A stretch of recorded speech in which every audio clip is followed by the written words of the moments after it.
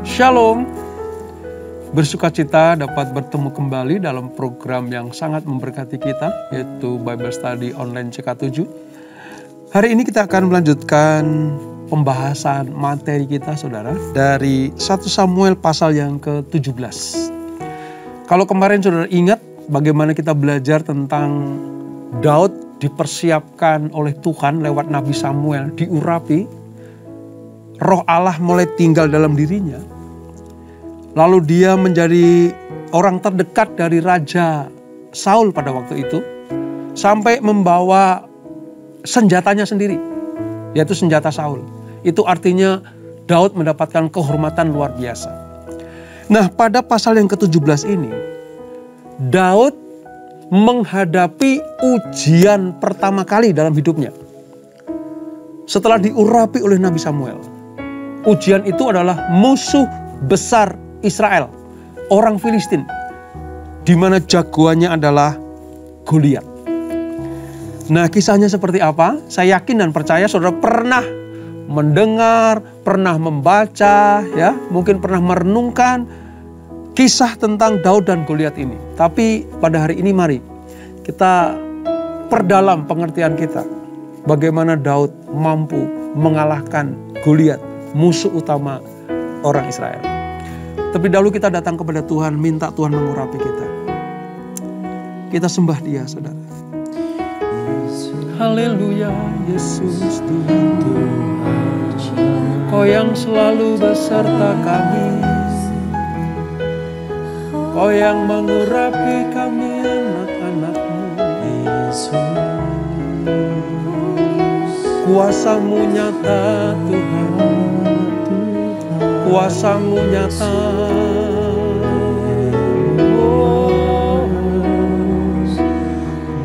Terima kasih Bapa. Terima kasih Yesus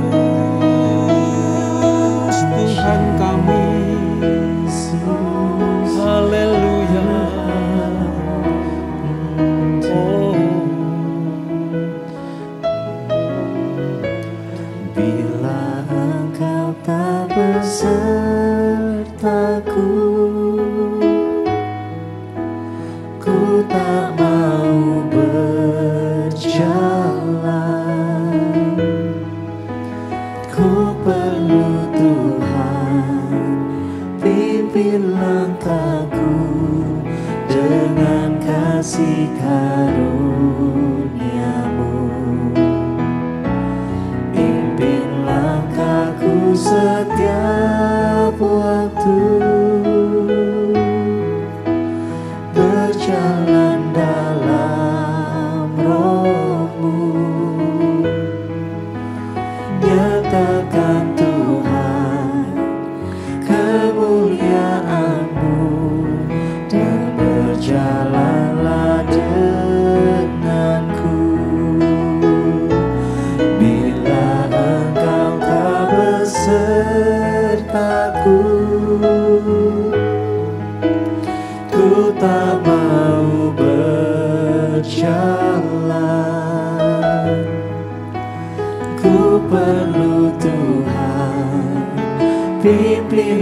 jalanlah denganku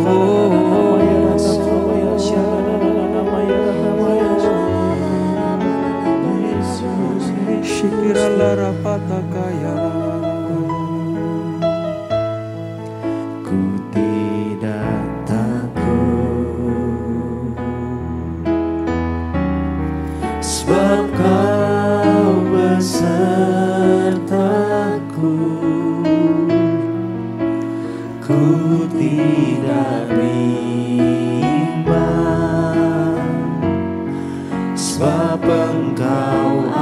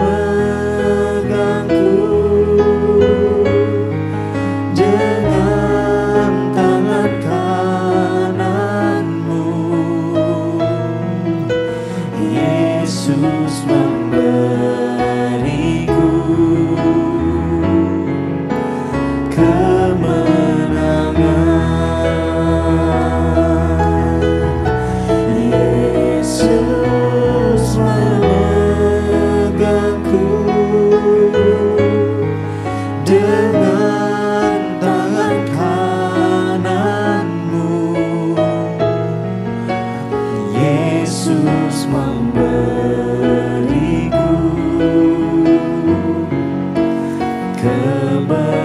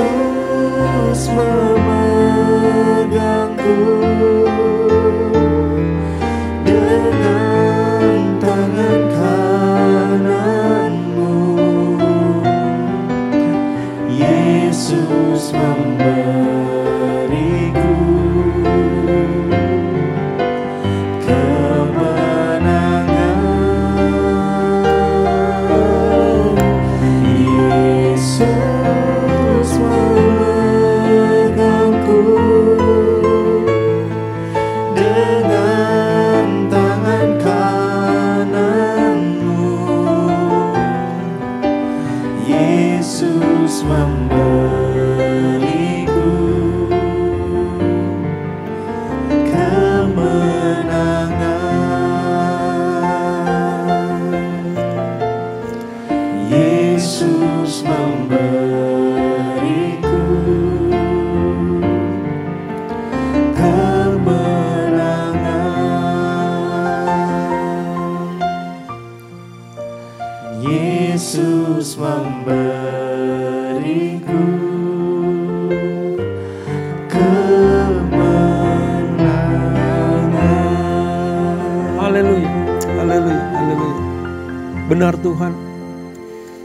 ketika Engkau bersama dengan kami, ketika Tuhan ada di tengah-tengah kehidupan kami, ketika Engkau ada di dalam hidup kami, maka kemenangan demi kemenangan akan kami raih. Hanya bersama dengan Tuhan sajalah kami akan mendapatkan kemenangan-kemenangan dalam setiap permasalahan hidup kami, dalam setiap problem hidup kami. Bersama dengan Tuhan kami cakap menanggung segala sesuatu. Dan hari ini kami akan melanjutkan pembelajaran kami. Kami akan melihat bagaimana kuasa Tuhan dalam diri seorang Daud begitu besar, mampu mengalahkan raksasa masalah itu, yaitu Goliat.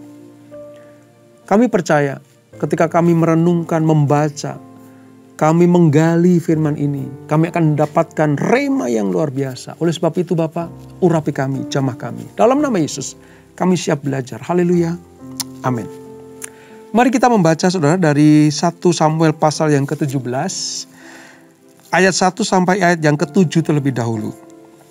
Demikian firman Tuhan, perjanjian lama halaman sekitar 311. Goliat menantang tentara Israel. Orang Israel mengumpulkan tentaranya untuk berperang. Sorry, orang Filistin mengumpulkan tentaranya untuk berperang. Mereka berkumpul di Soko yang di tanah Yehuda dan berkemah antara Soko dan Aseka di Efes Damim. Saul dan orang-orang Israel juga berkumpul dan berkemah di lembah Tarbantin. Mereka mengatur barisan perangnya berhadapan dengan orang Filistin. Orang Filistin itu berdiri di bukit sebelah sini dan orang Israel berdiri di bukit sebelah sana. Dan lembah ada di antara mereka. Lalu tampillah keluar seorang pendekar dari tentara orang Filistin namanya Goliat. Dari Gad, tingginya enam hasta sejengkal. Ketopong tembaga ada di kepalanya dan ia memakai baju zirah yang bersisik. Berat baju sirah ini 5000 shikal tembaga. Dia memakai penutup kaki dari tembaga dan di bahunya ia memanggul lembing tembaga. Gagang tombaknya seperti pesa tukang tenun dan mata tombaknya itu 600 shikal besi beratnya. Dan seorang pembawa perisai berjalan di depannya. Nah pada pasal ini saudara, kita akan melihat bagaimana Israel itu gemetar karena musuh bebuyutannya yaitu Filistin. Itu berkemah berhadapan-hadapan dengan orang Israel. Dulu saat Israel dalam perjalanan keluar dari Mesir menuju tanah Kanaan, mereka pernah berteriak-teriak kepada Tuhan, bahkan memberontak kepada Allah. Karena apa? Takut mendengar bahwa penduduk Kanaan itu raksasa yang perkasa. Kalau saudara ingat di bilangan pasal yang ke-13 dan 14 itu. Dan akibatnya apa? Israel dukung Tuhan. Ya, 10 pengintai melihat di kanaan orang-orang raksasa mereka ngeper, takut. Dan pada peristiwa yang kita baca ini, perasaan takut, ya, perasaan gentar, ya, perasaan gemetar yang ketakutan itu terjadi lagi. Kenapa? Karena di depan orang Israel ada tentara Filistin dan mereka punya orang Filistin itu punya jagoan, ya, punya pendekar disebut tadi ya, namanya Goliat. Saudara lihat tadi, kriterianya seperti apa? Melebihi, ya, melebihi tentara-tentara yang lain. Ketakutan yang sama yang pernah dirasakan oleh Israel melihat orang Kanaan. Sekarang terjadi ketika tentara Israel melihat orang Filistin. Yang takut bukan hanya tentara Israel, termasuk Raja Saul. Gemetar lihat Goliat, saudara. Ini pendekar yang raksasa luar biasa. Alkitab mencatat. Gambarannya apa? Tingginya sekitar 3 meter. Ya, 2 meter 80-an, saudara. Hampir 3 meter. Berat baju zirahnya yang dipakai dari tembaka tadi, kira-kira 57 kilogram. Itu baru bajunya. Mata tombaknya itu beratnya 7 kilogram. Bahkan untuk membawa senjata saja perlu orang lain. Saking atribut perangnya itu besar, berat, dan dari penampilan fisik saja sudah menakutkan tentara Israel. Saat itu, Goliat menantang perkelahian satu lawan satu. Filistin punya jagoan, punya pendekar Goliat. Dia teriak-teriak, keluarkan jagoan atau pendekar dari Israel. Kira-kira seperti itu. Wajar kalau tidak ada orang Israel yang berani menghadapi Goliat. Sebab apa? Tidak ada yang seimbang secara fisik. Bahkan kakak-kakak Daud yang tujuh orang itu. Dari mulai Eliab sampai adik-adiknya yang ketujuh itu. Tidak ada yang berani untuk datang menghampiri atau menghadapi Goliat. Mari kita lihat ayat 8 Saudara. Ini Goliat teriak-teriak ini. Ia berdiri dan bersuruh kepada barisan Israel katanya kepada mereka. Mengapa kamu keluar untuk mengukur barisan perangmu? Bukankah aku seorang Filistin dan kamu adalah hamba Saul?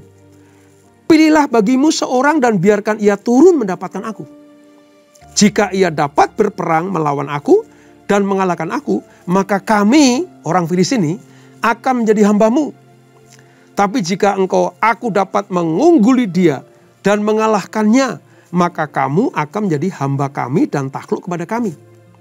Pula kata orang Filistin itu, aku menantang hari ini barisan Israel. Berikanlah kepadaku seorang supaya kami berperang seorang lawan seorang Ketika Saul dan segenap orang Israel mendengar perkataan orang Filistin itu, maka cemaslah hati mereka dan sangat ketakutan. Sangat ketakutan. Takut saja wajar, saudara. Tapi kalau sangat ketakutan itu di luar kewajaran. Kenapa? Karena nggak mungkin menang. Nggak mungkin menang. Nah mari kita lihat fenomenanya seperti apa. Oleh bapaknya, Daud diminta untuk menengok kakak-kakaknya di medan perang. Karena Isai dengar bahwa Filistin sedang ingin merangsek ke wilayah Israel.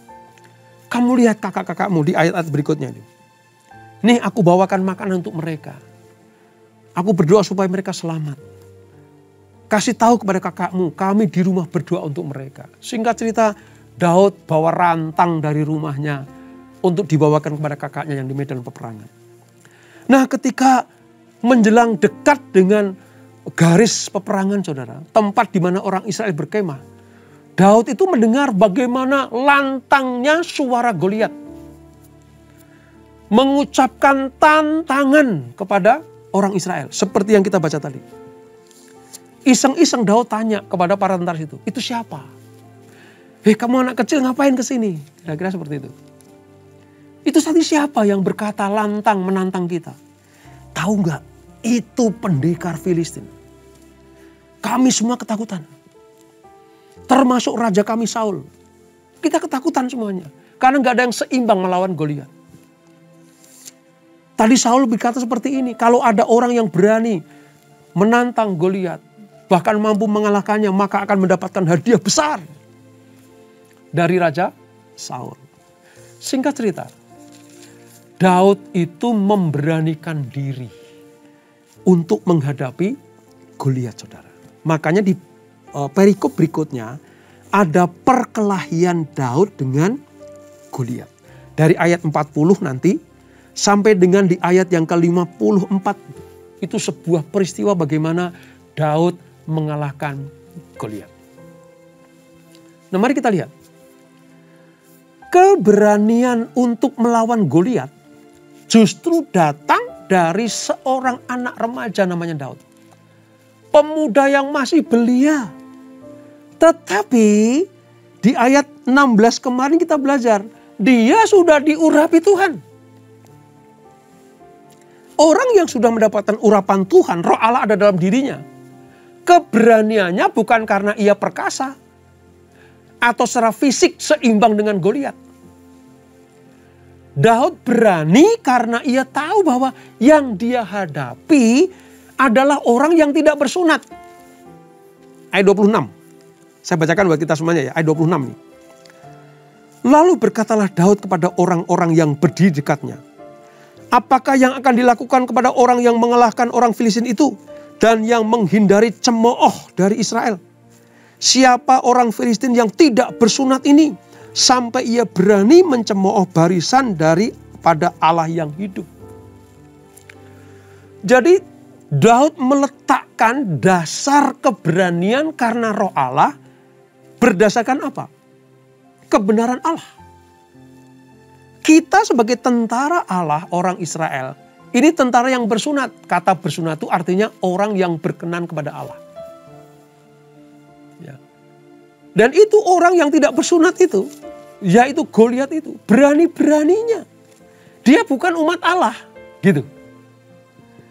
Nah kita diurapi Tuhan, mungkin kalau Daud suruh ceramah kepada prajurit Israel seperti itu. Kita diurapi Tuhan, ngapain takut?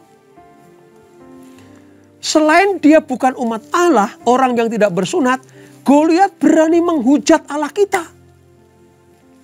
Dia sesumbar menantang umat Israel. Tapi mereka lupa, sesungguhnya yang ia lawan adalah Allah Israel itu sendiri. Nah, itu pegangan Daud. Makanya, walaupun secara perbandingan fisik tidak seimbang, tapi yang membuat Daud berani karena Allah ada di pihak dia. Dia mengingatkan orang Israel, kita ini orang pilihan Tuhan. Umat Allah disebut orang yang bersunat.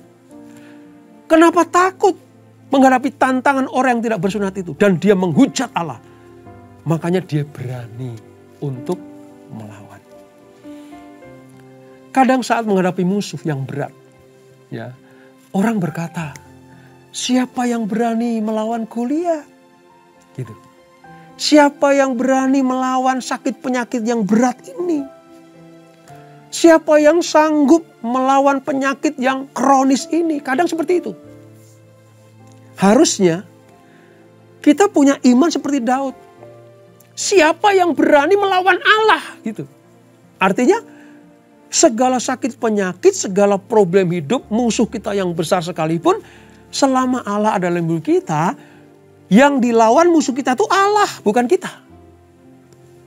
Ini pengertian yang Daud tanamkan dalam dirinya dan bagi orang Israel pada waktu itu. Saudara tahu, setelah Allah memilih Daud menjadi pengganti Saul. Sebenarnya tekanan Saul makin tinggi, saudara. Makin berat. Karena apa? Filistin menyerang. Saul punya pemikiran begini. Sejak roh Allah meninggalkan dia, jiwanya mulai goyang. Rohaninya mulai terpengaruh oleh kondisi apa yang ada di depannya. Secara fisik, jiwa, dan pikiran, bahkan roh, Saul itu lemah. Makanya sehebat-hebatnya Saul, sekuat-kuatnya orang Israel, kalau rajanya saja sudah takut, Selesai itu. Nggak akan ada yang bisa mengalahkan Goliat. Ditambah lagi ejekan Goliat yang menakutkan dan menyakitkan hati itu semakin menekan jiwa Saul. Sebab apa? Ancaman Goliat mengandung konsekuensi berat. Bila Israel kalah melawan Goliat, maka Israel akan menjadi budak orang Filistin. Saul takut dan cemas luar biasa. Dia sadar bahwa roh Allah sudah meninggalkan dia. Makanya dia diam saja. Sambil menunggu hal-hal yang di luar pikiran Saul. Syukur-syukur tiba-tiba Goliat mati sendiri. Kira-kira seperti itu. Tapi Allah punya jagoan yang luar biasa. Daud ditampilkan. Untuk apa? Untuk memberikan pelajaran kepada Saul dan tentara orang Filistin, eh, Israel pada waktu itu. Termasuk kita saat ini. Di mana letak kunci kemenangan Daud atas Goliat? Bukan karena kecanggihan Daud berperang. Ya, dia pernah melawan singa beruang, melindungi kambing dombanya. Tapi hanya dengan senjata sederhana saja. Itu latihan bagi Daud. Tapi kunci kemenangan Daud adalah ada pada Tuhan yang menjadi sandarannya. Pengalaman-pengalaman menghadapi singa dan beruang itu, itu dipakai oleh Daud hanya sebagai penguat. Tetapi sesungguhnya kemampuan utamanya adalah Tuhan bersama dengan Daud tahu persis musuhnya adalah orang yang tidak mengenal Tuhan. Bahkan berani menghujat Tuhan. Maka ia yakin bahwa Tuhan sendiri menjadi lawan Goliat. Sebab di mata Daud, Goliat tidak lebih daripada binatang buas yang mencoba mengganggu ternaknya. Di pikiran Daud ini, Goliat itu sama seperti singa beruang yang pernah dia kalahkan ketika mengganggu ternaknya. Singa dan beruang cukup dengan ketapel. Manusia tidak bersunat juga cukup dengan ketapel. Kira-kira seperti itu. Daud akan membuat Goliat tumbang dan tentara Filistin tunggang langgang. Oleh sebab itu, ketika Saul tahu bahwa Daud pengen menghadapi Goliat, Saul menawarkan pakaian perangnya. Hei anak muda, kamu tahu kan? Goliat pakai pakaian seperti itu tuh. Berat bajunya saja udah 57 kg.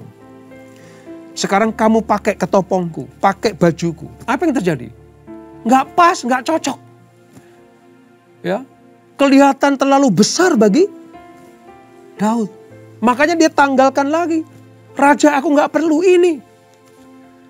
Selama Tuhan bersama dengan aku, bahkan aku tidak pakai baju perang pun, ya, aku sanggup melawan orang yang tidak bersunat ini. Daud merasa tidak memerlukan perlengkapan prajurit yang ada dalam diri Saul. Mungkin dalam hati Daud, ngapain itu dikasih ke aku? Kalian aja maju. Harusnya kan begitu. Ya. Daud dengan gagah berani menghadapi Goliat karena dia tahu persis Tuhan ada di pihak dia. Wah, luar biasa saudara. Kalau tadi kita lihat apa rahasia kemenangan Daud karena Allah ada di pihaknya. Sekarang mari kita balik. Apa rahasia kekalahan Goliat? Mari kita lihat dari sisi musuh kita. Dari musuh orang Israel. Goliat kalah karena memandang remeh musuhnya. Sehingga ia tidak bisa melihat kedahsyatan Allah yang menyertai Daud.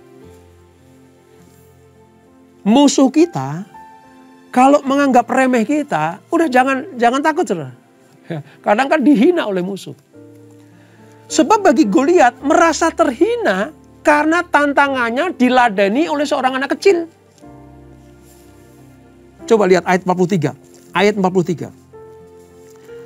Orang Filistin itu, Goliat ini saudara, berkata kepadanya, kepada Daud, anjingkah aku? Maka engkau mendatangi aku dengan tongkat. Ini sebuah penghinaan bagi Goliat saudara.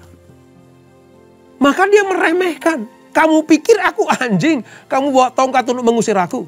Kamu tahu gak aku ini tentara Is, uh, Filistin. Ya, aku ini jagoan. Aku ini yang diandalkan oleh orang Filistin. Kok kamu pakai tongkat? Gitu. Kalau aku pakai baju perang, tongkatmu tidak akan pernah berarti apa-apa. Goliat sedang meremehkan Daud. Sebab nyatanya lewat tongkat itu, musuh-musuh Daud pada waktu itu, singa dan beruang dia bisa halau lewat tongkat itu. Dan sekarang bukan tongkat Daud yang membuat dia mengalahkan Goliat, tapi urapan Tuhan itu yang membuat Daud mampu mengalahkan Goliat betapa kagetnya Goliat dan gemetarnya dia saat Daud dengan lantang mengatakan, ini sesumbar Goliat dibalas dengan perkataan penuh kuasa oleh Daud. Engkau mendatangi aku dengan pedang dan tombak dan lembing. Tapi aku mendatangi engkau dengan nama Tuhan semesta alam. Hari ini juga Tuhan akan menyerahkan engkau ke dalam tanganku. Coba lihat. Daud tidak berkata bahwa aku akan mengalahkan engkau. Tapi aku akan mendatangi engkau dengan nama Tuhan. Demi mendengar nama Tuhan itulah maka Goliat kaget luar biasa. Secara psikologis. Goliat sudah kalah saudara. Sebab apa? Yang dihadapi bukan anak kecil lagi. Tapi yang dihadapi adalah Tuhannya anak kecil itu. Tuhannya seluruh tentara Israel.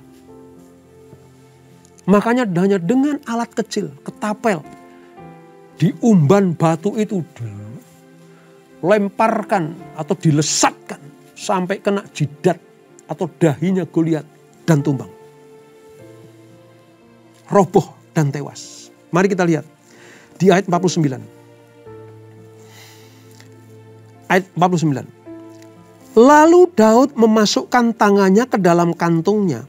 Diambilnya sebuah batu dari dalamnya, diumbannya, maka kenalah dahi orang Filistin itu sehingga batu itu terbenam ke dalam dahinya dan terjerumuslah ia dengan mukanya ke tanah. Demikianlah Daud mengalahkan orang Filistin itu dan umban ya dengan umban dan batu. Selalu lihat, umban dan batu itu cuma penyelesaian akhir. Tapi sebenarnya yang membuat ketakutan Goliat adalah ketika Daud berkata, Aku mendatangi kamu dengan nama Tuhan semesta alam. Saudara dari sini kita belajar. Seberat apa pun musuh kita, sehebat apa pun musuh kita, apa pun itu saudara kalau kita berkata kepada musuh kita, aku datangi engkau dalam nama Tuhan semesta alam. Hari ini juga Tuhan akan menyerahkan engkau ke dalam tanganku. Artinya aku mengalahkan engkau demi nama Tuhan. Saudara tahu nggak? Iblis gemetar. Iblis gemetar. Nah itu yang tidak dimiliki Israel dengan pasukannya. Saul dan tentaranya keberanian ilahi seperti ini. Pelajaran buat kita semuanya. Kita ini anak perjanjian. Disebut di dalam uh, Alkitab orang yang bersunat. Artinya anak perjanjian. Sunat itu lambang perjanjian. Nah yang menantang kita itu iblis, kuasa kegelapan dengan ketakutan, was-was, ya kan, kekhawatiran, besok makan apa, masa depanku seperti apa, itu kan menggerogoti. Sehingga kita keder takut. Kita harus sadar seperti Daud. Dengan cara gimana? Hei musuhku, engkau sudah dikalahkan oleh Tuhan Yesus 2000 tahun yang lalu. Aku sebagai anak perjanjian, aku kalahkan engkau dengan kuasa nama Tuhan semesta alam itu. Hari ini juga, engkau harus keluar dari hidupku. Hei, kekhawatiran, keluar dari hidupku. Hai, sakit penyakit, keluar dari tubuhku. Itu cara Daud mendemonstrasikan kuasa Allah. Oleh sebab itu, sekalipun, sekalipun ya, kita dianggap remeh oleh musuh kita. Mungkin kita dianggap kecil. Mungkin iman kita tidak seberapa kecil iman sebesar biji sawi. Asalkan iman ini ditujukan kepada Tuhan. Yang maha besar itu. Maka sebesar apa pun masalah kita, sanggup kita hadapi. Kita mampu mengatasi masalah karena Tuhan. Dan ingat selalu, bahwa Allah lah yang memberikan kemenangan itu. Sebelum saya tutup, dari cara pikir dan pandangan Daud, saudara, musuh yang semakin besar itu justru kesempatan untuk membidik lewat ketapelnya itu semakin besar kemungkinannya kena. Ini cara pandang Daud. Ya memang tidak ditulis Alkitab, tapi mari kita lihat itu. Semakin besar musuhnya, probabilitas, artinya kesempatan untuk bisa kena umban Daud itu semakin besar. Makanya kalau punya masalah besar, kita punya senjata. Dan semakin besar kemungkinan, dan kita yakin bahwa musuh akan mati karena lewat umban doa kita. Lewat kuasa doa yang kita lepaskan. Semakin besar musuhnya, maka kesempatan kena itu semakin besar juga. Ibaratnya gini, kalau semakin musuhnya kecil, kalau di, di, diumban kan semakin susah. Tapi justru semakin besar musuh, kemungkinan kena itu besar sekali. Apalagi kalau diurapi Tuhan. Oleh sebab itu, jangan takut dengan masalah yang besar. Bersama dengan Tuhan, kita cakap menanggung segala sesuatu. Dan itulah 1 Samuel pasal yang ke-17. Kita berdoa. Bapak terima kasih untuk anugerahmu. Kami belajar kisah Daud mengalahkan Goliat Secara fisik tidak seimbang. Secara fisik pasti Daud kalah. Bahkan tentara Israel pun takut gemetar. Tapi kami melihat bagaimana Daud berani menghadapi Goliat yang besar itu. Karena Daud yakin penuh di dalam dirinya ada roh Allah. Itulah modal utama. Itulah senjata utama Daud. Mengalahkan musuh yang besar itu. Umban dari ketapelnya itu hanya penyelesaian akhir dari peperangannya. Tapi kemenangan sesungguhnya ketika Daud dengan lantang berkata, Aku menghampiri engkau dalam nama Tuhan semesta alam. Musuh sebesar apa pun, selengkap apa pun senjatanya, akan takluk, tunduk, taat, kalah oleh kuasa Allah yang besar itu. Terima kasih Bapak, ini pelajaran buat kami semuanya. Kami tidak perlu takut menghadapi pun juga. Bersama dengan Tuhan, kami mampu mengatasi masalah kami. Yang dibutuhkan iman. Dan ketika kami belajar firman ini, kami semakin mengerti firman-Mu. Iman timbul dari pendengaran akan firman Allah. Berkati anak-anakmu, berkati kami semuanya. Berkati keluarga demi keluarga. Apa pun masalah mereka sekarang ini, diberkati Tuhan dan diurapi Tuhan. Sebelum kami berpisah, kami siapkan hati kami terima berkat yang daripadamu. Kekasih kasih Kristus arahkan hatimu kepada Tuhan terimalah berkat kasih anugerah dari Allah Bapa yang berlimpah-limpah. Di dalam anaknya yang tua Tuhan Yesus Kristus. Dan persekutuan yang manis dalam roh kudus menyertai kita semuanya. Mulai saat ini sampai Maranatha. Tuhan Yesus datang yang kedua kali menjemput kita semuanya. Bertemu di awan-awan yang permai.